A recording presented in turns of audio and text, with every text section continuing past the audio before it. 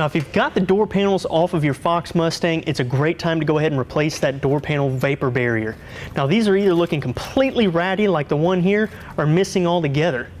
Now you want to go ahead and remove whatever's left of this vapor barrier and then clean around the uh, perimeter of the door, you know, get rid of any of the dirt, dust, etc. Now the new 5.0 Resto brand vapor barrier, it's made out of a heavier material. That way it's not going to be as easily distorted as the original. They come in a pair and they're both cut to fit both sides. They're pre-cut for all the holes like the door handle, uh, manual windows, uh, electrical connections, everything. You want to spread it out on a piece of paper and throw you down a couple of pieces of tape to hold the corners down. Keep it from rolling up on you.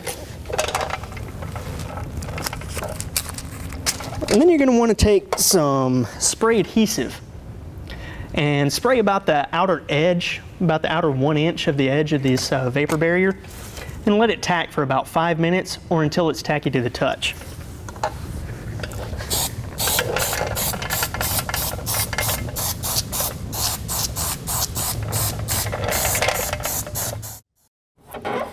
Now once you let the adhesive tack, you want to go ahead and stick this on the door. You want to line up all the holes for your panel push pins as well as run your electrical connection through the provided cutout.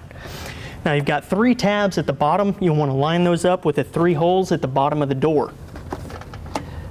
Run your way around the panel. Seal everything up.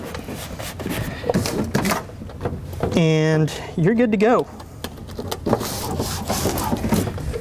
And now your door panel is protected from moisture. You won't have to worry about it warping or being damaged from any rain, washing your car, anything like that. Now for more interior restoration videos, check out latemodelrestoration.com.